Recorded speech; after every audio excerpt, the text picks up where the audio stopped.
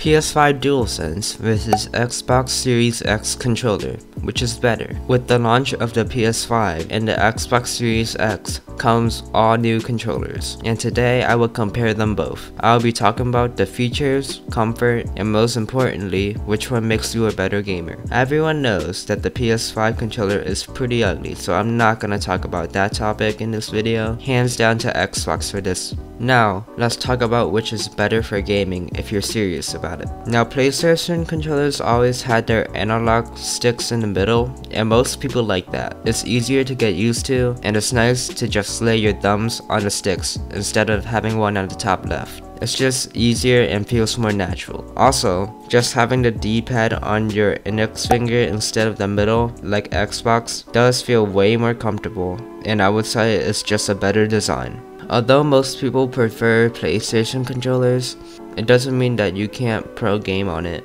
Both are really good if you can master them. I hate to say this, but it just depends on which controller you grew up with or has played the longest. It's super hard to switch, and why would you if they're both really good?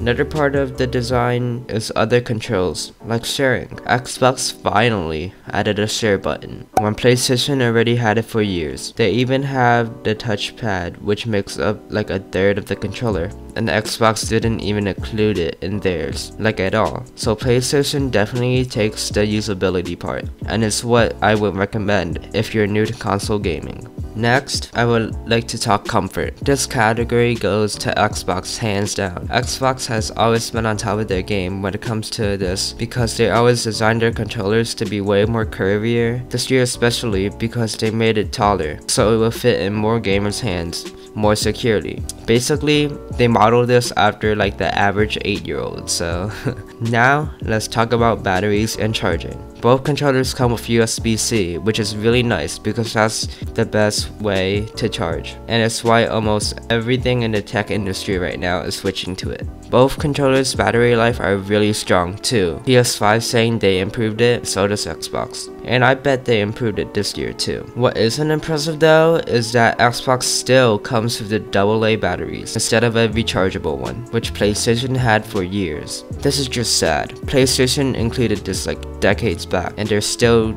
using those old physical ones. Come on guys. PlayStation automatically wins this part I guess. Next up is experience. And I really think PlayStation took this category too. The PS5 will include haptic feedback unlike the previous PlayStation controllers. This will let you feel the game more. Like let's say you're driving a car in the mud, it might feel more slimy or something due to the vibrations of it. And when you're running in the forest, you might feel the rocks and dirt hitting your controller. They really like kind of copied Nintendo Switch but I really like this feature and I'm really excited for it. It's just designed to make the experience even more realistic. Xbox does have their own latency improvements they're calling fast input scanning. The DualSense still takes this one because of the realistic like vibrations. This added with the better input latency will really help. That's all the main topics, but there are still some little features of these controllers that might be the deciding factor for you. The main thing is a built-in mic. The DualSense has this and I hope it's noise cancelling because it's literally in the middle of, of the controller. But Xbox doesn't even have a mic, which is sad. Although most people will just get a gaming headset, if you're in a situation where you can't or don't have one, could be the deciding factor. The gyroscope of the PS5 DualSense might be for you if you like to play some games that support it. A gyroscope is basically something that enables you to tilt your controller and move in game. Kinda like how you tilt your phone in car games on mobile. This could actually be a pretty handy feature. That's really it for the comparison. The DualSense definitely beat the Xbox Series X controller when it comes to most categories. All of this matters if let's say you're on the market for a new console and never had one before. If you already play on one, I still highly suggest you to stick with it.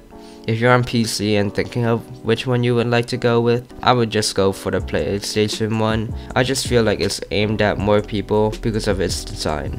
It's just the better positioning and controls that makes the PlayStation 1 better. Now, just don't switch if you already have an Xbox. They're relatively the same, but yeah, thanks for watching, and let's have a discussion about this in the comments below.